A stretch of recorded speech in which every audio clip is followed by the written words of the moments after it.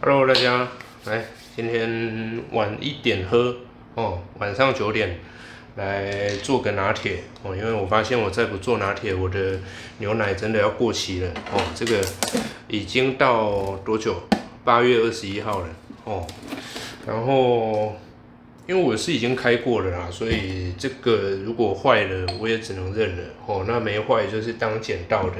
那我们今天呢，一样来用之前带回来那个测试的配方豆，把它削一削哦。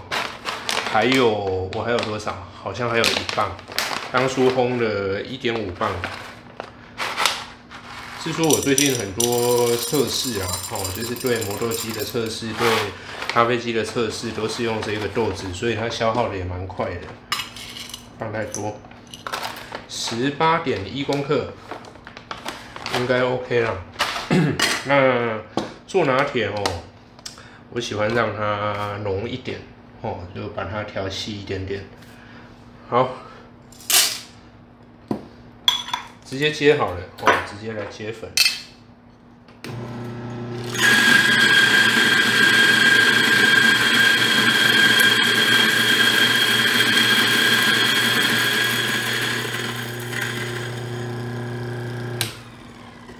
哎，还没压。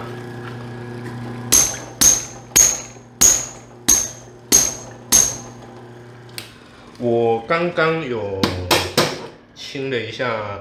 磨豆机哦，就是有拍了一个拆它的内部空间的影片，对，还还没剪接啦，还没剪接，想说一鼓作气，咖啡机也开了，哦，就来练个拉花吧。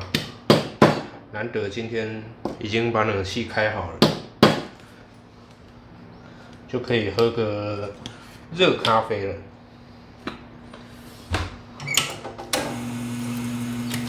好，今天动作快一点哦，纯粹只是练习一下而已。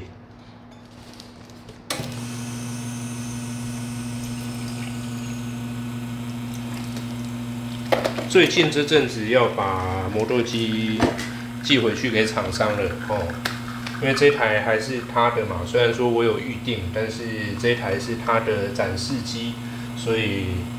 他最近货要到，货要定了，然后拿回去研究一下。他也放在我家真的很久了，蛮长一段时间了。不知道到时候我还他之后，我会不会懒得用手摇磨豆机哦，然后就可能都不拍早安咖啡了，撒个可可粉吧。撒可可粉真的是对拉花表面的那个图案很有帮助啊。好，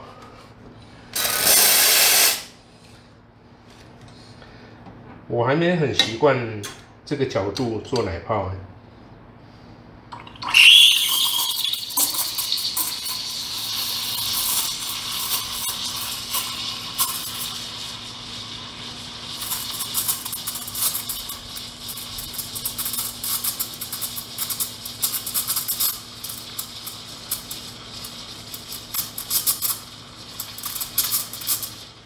先做个简单一点的图就好了哈。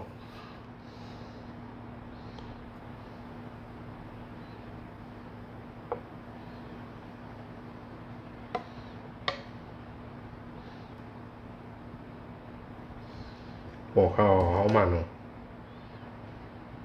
其实夏天最容易遇到的问题就是你可能会两三天才会做一杯。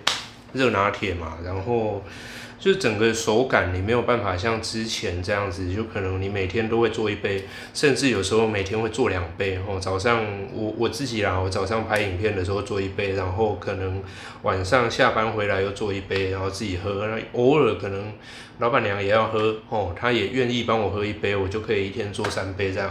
那现在几乎没有这个频率啊，所以其实很多时候，那整个你今天好不容易做一杯，然后觉得哎，这个手感还不错哎，可是你想要再多做一杯的时候，没有人帮你喝掉。那我自己是不喜欢做起来，然后放冰箱，或者是做起来倒掉，所以就也只能这样子。然后那其实自从开始做影片，然后弄了工作室专门去烘咖啡豆嘛，我就离店面吧台越来越远。那其实有时候去到店面也是可能做一杯热拿铁给自己喝，那也没有出给客人，因为其实吧台这种工作你久了之后会生疏，你知道吗？就是很久没有在这个环境工作，那有时候整个动作做起来不是很流畅。那我我是。都这样认为啦。我觉得一个客人来到一间店里，他可能想要喝的是一杯咖啡，或者是说他想要呃找一个比较专业的咖啡店，然后买一杯咖啡。那如果说这个过程之中，他看到一个就是动作卡卡的啊，然后很不很不流畅的人在帮他做咖啡，其实我觉得多多少少会影响他的一个消费的情绪、消费的体验。所以即使我现在在店里，只要有客人进来说要喝，不管是喝什么。我通常我都是马上把吧台让出来，然后让老板娘来做，因为她每天在那边工作，那其实整个流程她做的非常熟悉。那一来客人等待的时间也不用太长，二来呃客人在整个消费的体验应该也是会比我来做好一些啦。哦，讲那么多。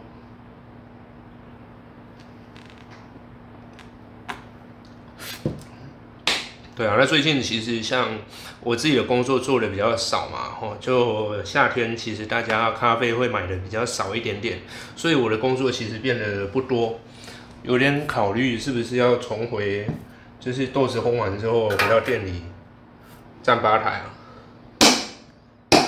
嗯，不知道会不会被骂笨手笨脚的，然后就其实老板娘在顾店的时候、顾吧台的时候，她做做东西的速度真的很快。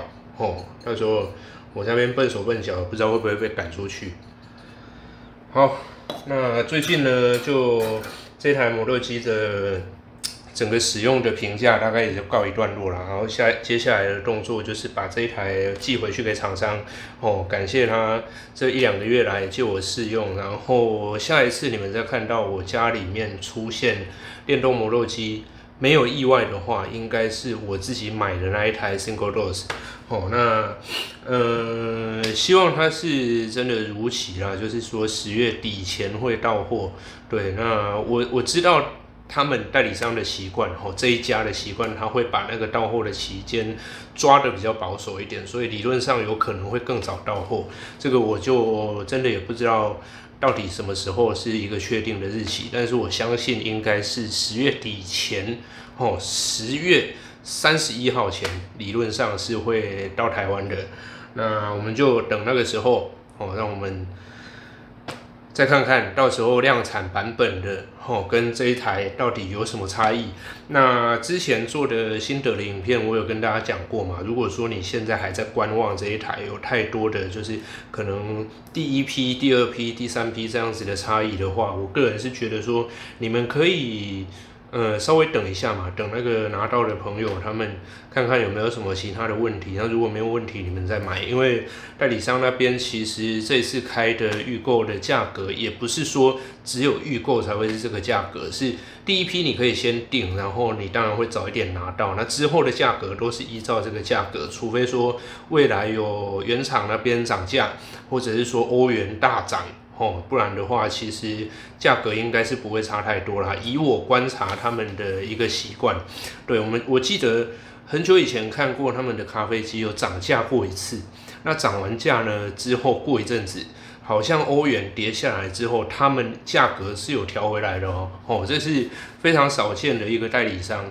对，就我店里在用的那一台 S One 嘛，当初我买的新机是七万五，那后来因为欧元涨价，然后还有一些呃运费啊这些涨价，他们曾经涨到八万五。可是后来哦，现在我有看到他们又降回到七万五。对，其实这个感觉就是有点类似像我这样啦，就是。呃，不是那种很纯正的生意人出来做生意，然后我就是觉得，诶，该赚多少我们就多少嘛，然后涨上去的价格，不是说不能调回来啊，就是如果今天我们的成本是降回来的话，我们就调回来，我们抓一个固定的利润，然后让消费者用更合理的价格去买到他们想要的设备，这样就好了。哦，这也是为什么其实我一直以来都。蛮喜欢帮他们介绍他们的商品，就是没有就算没有任何的酬劳，然后也没有任何的什么业配的费用或者是机器送给我也没有，但是我觉得其实像这样子的厂商。呃，有可能他在行销的部分会比较不够力，然后可能没有办法去做很多呃很华丽的行销啊，因为毕竟他们抓的毛利就是比较低哦。但是呃，对消费者来说，我觉得这样是会比较好的，因为他们把呃整个价格拉到一个他们应该拿取的费用之后，拿完之后哦，他就把整个呃价格反映在你们身上哦，那不会说。哎，它该便宜的时候它没有降下来，然后呃价格就这样一直跑跑跑跑跑跑上去了哦。反观那个隔壁棚，隔壁棚那一台哦，就是我实在也是不想讲它台湾的价格为什么会变成这样的哦。那原本它在欧洲就是那一台跟这一台是一个同样定位的东西，可是来到台湾变成。